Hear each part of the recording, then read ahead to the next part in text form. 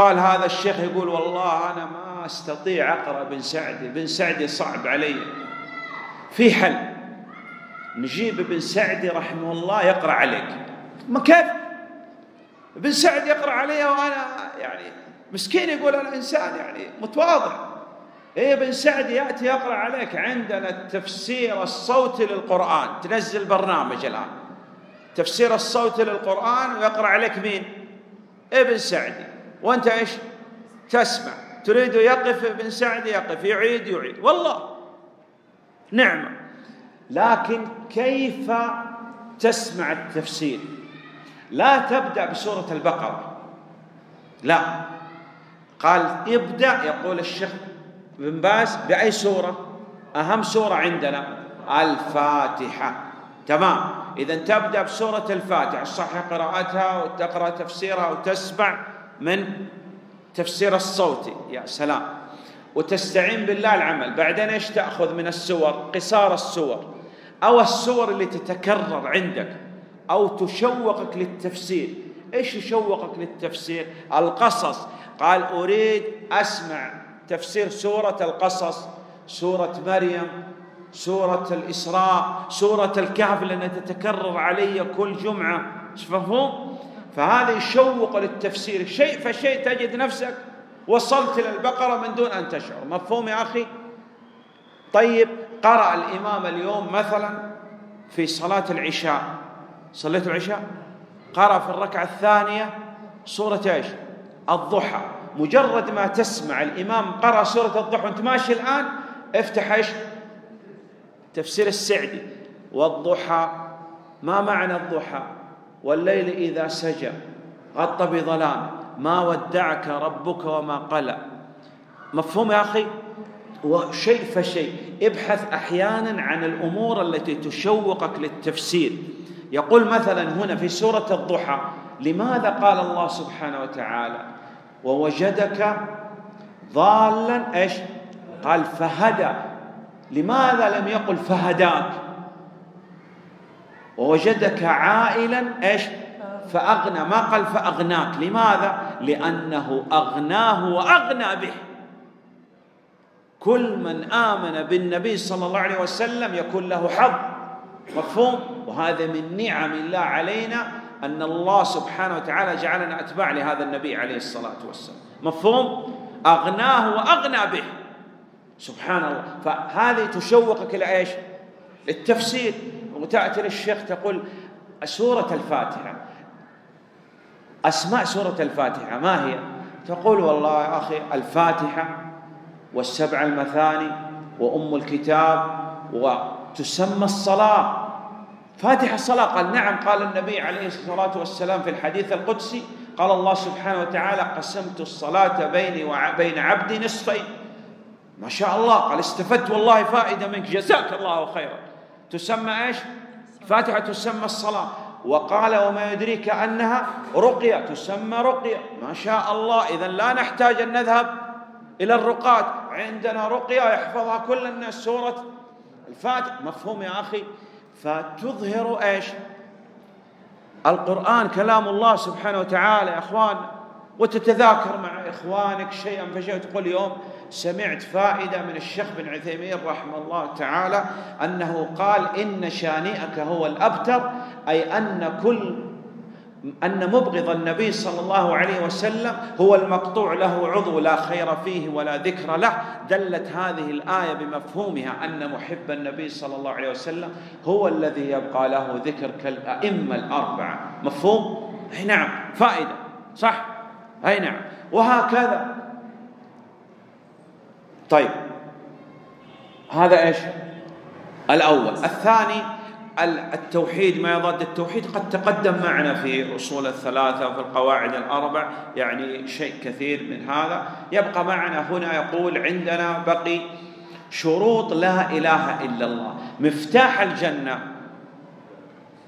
لا إله إلا الله لكن مفتاح لا يفتح إلا بأسنان. تسمى هذه شروط لا إله إلا الله. من يعرف شروط لا إله إلا الله؟ أخواننا لو كافر يقول لا إله إلا الله ولا يفهم معناه تنفع ها؟ لا. إذا لابد أنت تعرف شروط لا إله إلا الله وإلا ما تنتفع بلا إله إلا الله. تذكرها كاملة. شروط. ما تعطيني شرط وهذا شرط وهذا ما ينفع. يلا أخي.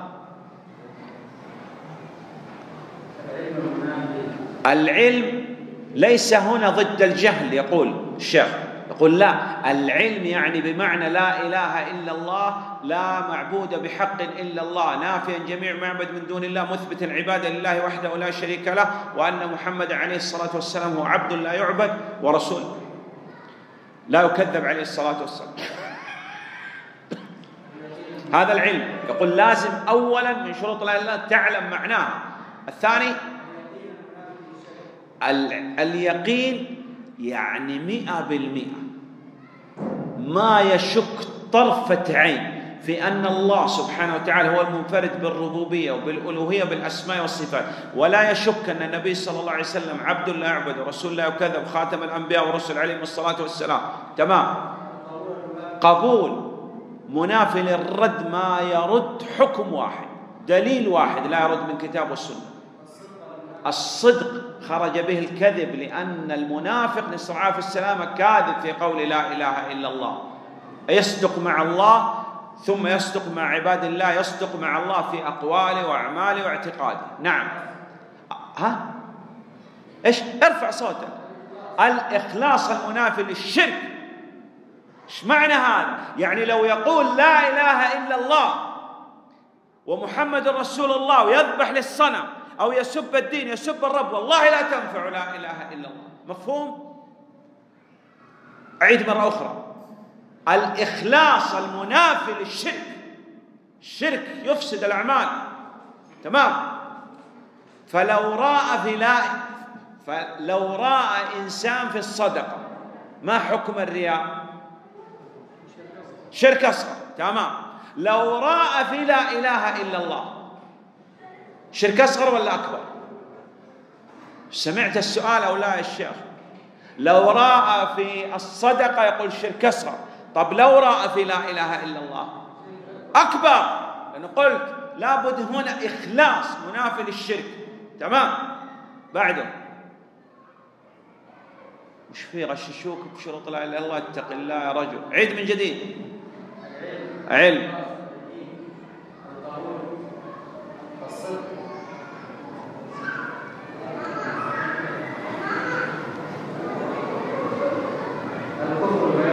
هذا الثامن آخر شيء انتظر. باقي علينا لسه.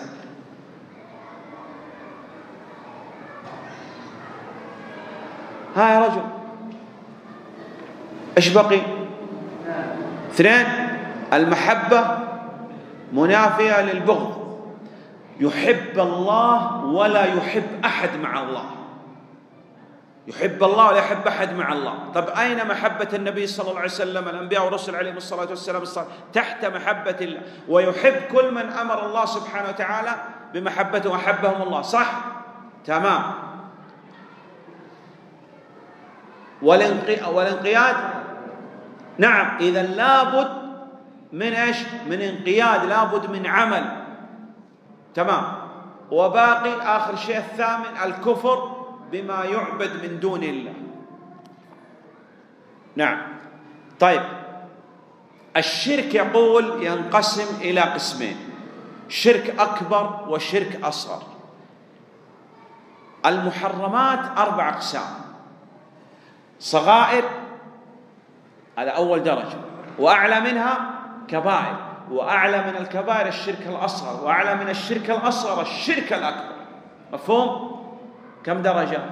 أربع. صغائر وكبائر وشرك أصغر وشرك أكبر. عشان تفهم أن الشرك الأصغر أكبر من الكبائر. مفهوم؟ يعني عندما يقول النبي يحلف بغير الله هذا أعظم من أكل الربا ومن الزنا. مفهوم؟ أي نعم. طيب. إذا عندنا مراتب أربع مراتب المحرمات صغائر وأعلى منها كبائر وأعلى منها شرك أصغر وأعلى منها شرك أكبر. إذا مات على الشرك الأكبر نسأل الله العافية والسلامة. فهو خالد مخلد خلود أبدي في النار. مات على الأصغر يعذب بقاتل الشرك ثم يدخل الجنة. على أي اعتبار؟ إذا تاب في وقت تقبل فيه التوبة تاب. تاب الله عليه سواء كان شرك أكبر أو شرك أصغر مفهوم؟ ولهذا لازم تتعلم الشرك حتى لا تقع فيه حتى تحذر منه. تمام. العلماء رحمهم الله يعني ما وجد تعريف منضبط والله أعلم للشرك الأكبر أصغر لكن يوجد فروقات بين الأكبر والأصغر. الأكبر مخرج من الملة الأصغر غير مخرج من الملة الأكبر محبط لكل الأعمال الأصغر غير محبط لكل الأعمال. كل ما كان وسيلة إلى الأكبر فهو أصغر. كل من اعتقد أن له تصرف خفي في الكون أو بيد جلب المنافع دفع المضار فهو أكبر. وكل من اعتقد وجعل ما لم يجعل الله سبحانه وتعالى سبب سبب فهذا أصغر. كل ما أطلق الشرع عليه من الشرك وكفر ولم يعرف بألف الأصل أنه أصل. هذه فروقات بين الشرك الأكبر والشرك الأصغر. أريد أمثلة على الشرك الأكبر. إنا لله وإنا إليه راجعون. آه يا أخي. نعم. أنا أسمع. في عندك محامي هنا؟ أخ شوف يقول لا. لا تدافع هو يدافع عن نفسه. نعم. ما في محامي؟ إيه نعم. تمام. إيش؟ لا لازم قيد. الذبح لغير الله لازم قيد. ما هو القيد؟ ها؟ محبة وتعظيما الذبح لغير الله محبة وتعظيم. الشرك أكبر كالذبح للجن ولأصحاب القبور. تمام. الله يبارك فيك. ها؟ غيره. أمثلة على الشرك الأكبر. دعاء غير الله فيما لا يقدر عليه إلا الله. تمام. إذا يعتقد أن بيده جلب المنافع ودفع المضار شرك أكبر. تمام. آخر. توكل. صدق الاعتماد على الله سبحانه وتعالى مع الثقة به والأخذ بالأسباب المشروع اعتماد مطلق وتفويض جميع أموري إليه واعتقاد أن بيده جلب المنافع ودفع المضار. شرك أكبر. يا أخي أي عبادة تصرف لغير الله؟ شرك أكبر.